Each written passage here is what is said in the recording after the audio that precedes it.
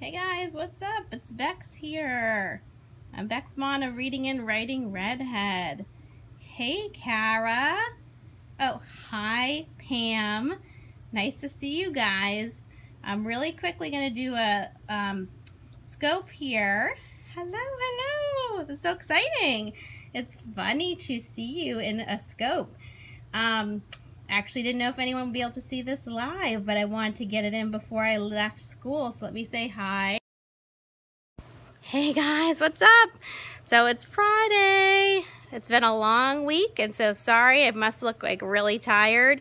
Um, but I wanted to quickly show you a couple books I've been using this month for Black History Month so that you can get ideas if you want to squeeze in one more on Monday or if you're like looking to build your collection for next year. These are some of my favorites. So let's take a little look. And if you have any that you would recommend or that you would love yourself, please feel free to add in the comments what book you love and let me show you what I have. So as a lot of you might know, these Who Was books are huge right now. And actually, I feel like they're pretty good quality and the students really seem to like them. So who Was Martin Luther King Jr. is a great one. I'm just going to give you a quick peek inside so you can kind of see the text and it has some pictures.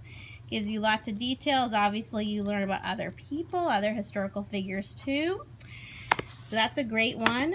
This one, Rosa, by Nikki Giovanni, is amazing as far as the artwork. Oh, hey, Kristen. Wow, I've never seen those what are those, fist bumps or something? That's cool. Wow, thanks for the hearts and fist bumps, guys. But check out these, actually, I don't even know if they're photos. I should have checked. Um, but check this out. So you can open up here in this particular part of the book and just get this like enormous, enormous, it's almost like a mural. And just the artwork is amazing. And of course you learn the story of Rosa Parks, the history. Like, look at that. That's so beautifully done. So this would be good for a read aloud and it, you know, you would need to do some discussion. I teach second grade. So, you know, some of these books, you know, they, they talk about things that happen at a time when there was violence and things like that going on. So you would probably want to do discussions about some of those things with your kids and maybe not totally leave them up for independent reading. It's up to you, depending what age you teach. This book is wonderful. Story of Ruby Bridges by Robert Coles. I just read it the other day, and every time I read it, I almost start crying. I have to control myself. Um, you probably all know the story of Ruby Bridges, who was the first girl at her school in New Orleans to go back into an all-white school after they ended segregation.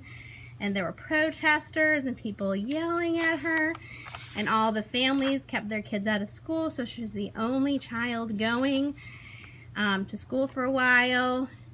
Their teacher more beautiful pictures. Like the folks who do these illustrations are so talented. Hey Sarah! Welcome Sarah and the ending is really powerful, this book. I don't want to give everything away, so let you guys check it out. This is the story of Ruby Bridges. If you're just joining us, yeah, right? Totally. I'm just quickly giving some ideas for Black History Month books. If you're trying to squeeze in one more activity on Monday, yay for leap year, or if you want to add your, to your collection for next year. This is a great book. Thanks for the hearts uh, Nelson Mandela. Kind of interesting how the title is on the back by Kadir Nelson, who did paintings.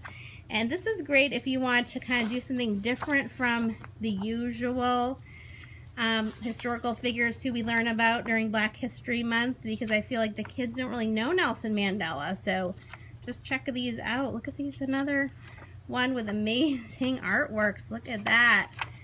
Um, and you know, you can learn a lot about South Africa just for reading this book as well as of course Nelson and I had to include because the kids love these who was Nelson Mandela I also showed early on a who was Martin Luther King Jr. so those are great For your kids who love music, or if you love music or just want to make some connections to the arts, these are some great ones that I have. This is a, a multiple award winner book about Duke Ellington.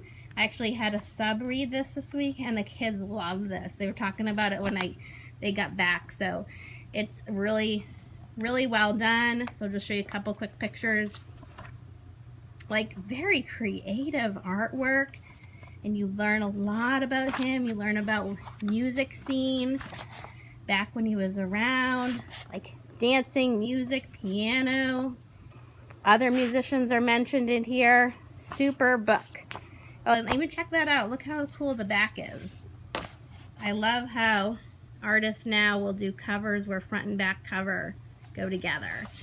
So another great one is this one, Marian Sang, who's another person that your children might not actually know much about or maybe haven't even even never even heard of excuse me it's by pam munoz ryan it's really interesting i left this out for a while before i read it oops oh my gosh sorry i'm getting some notifications on my phone um, so actually one of my kids looked at it first and he noticed let me see if i can find it about marian Keys.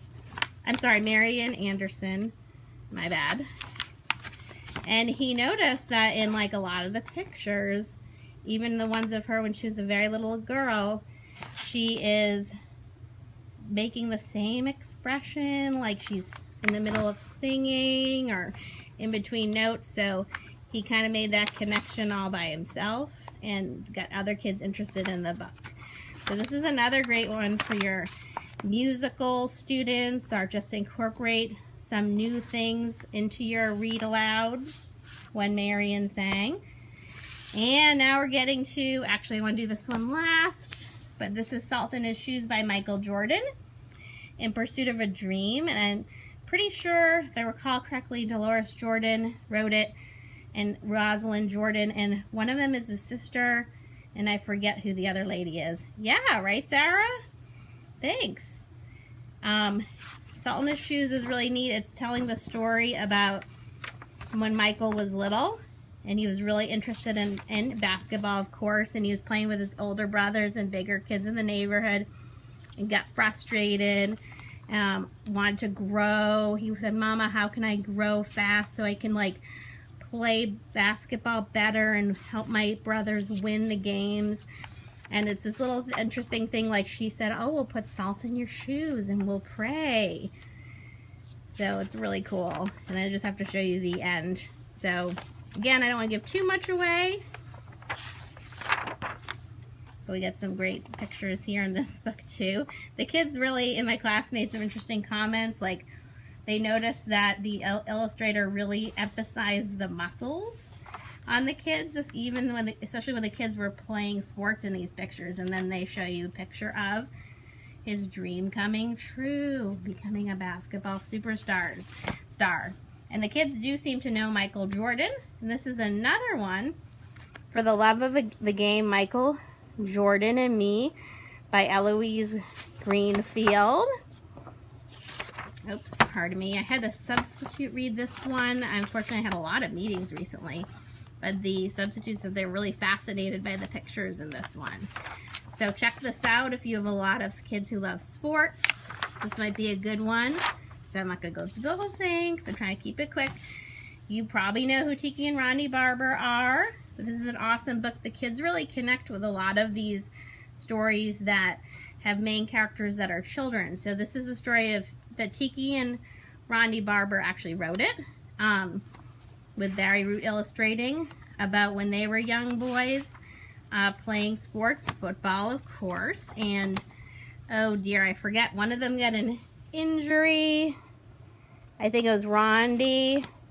He, um, oh no, Tiki. Tiki got an injury. I think he broke his leg. Ooh, I mean, this book is well loved. And talks about, you know, his frustration. He couldn't play football and fear that he would never be able to play again and kind of like his comeback story, how his brother supported him, and how they were always side by side.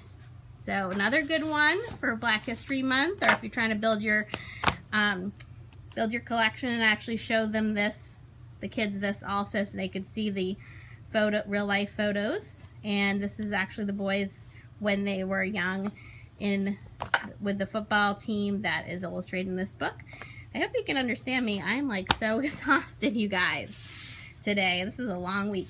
This is my all-time favorite book that I like to read. I'm actually saving this for Monday because coincidentally on Monday in our Journeys program we're reading a baseball story. So this is Teammates. This is the story of Jackie Robinson and Pee Wee Reese by Peter Golenbock. Thanks for the hearts, guys. And this is another one like the story of Ruby Bridges that I have to control myself from tearing up and maybe crying when I read it because it brings out a lot of emotions in me. And this really, this book is really good for kind of facilitating some discussions on segregation as well as some of the other books I showed. Segregation, inequality, um, people, how people felt, how it would make you feel if this was happening to you. Includes real photos of the guys, which is great. And of course, the kids who are sports fans like this, but kids with, you know, they care so much about each other and they care for other people. And there's just so much um, empathy that this book often really hits home. You know, they really feel for, you know, Jackie Robinson and how isolated he must have felt and sad and um, how scary it must have been to have people so mad just because you were playing the sport you loved. So this is a great book. This is called Teammates. So those are just some suggestions. Let me flip this around. Hey again, so I hope those helped you out. Thanks for stopping by the scope. And if you are a science teacher, you teach science, make sure you check out Sarah, who is in here right now. Check out her blog, Science is for Kids. I hope I got that right, Sarah. You can correct, correct me if I'm wrong. She's also on Scope too. She does some fun scopes and she has some great ideas, especially for STEM. So thanks, guys. Have a great weekend. We'll see you next time. Bye. Hold on, I'm having trouble, but you can sign out. I'm having trouble. There we go. All right, for real now. Catch you later. Bye.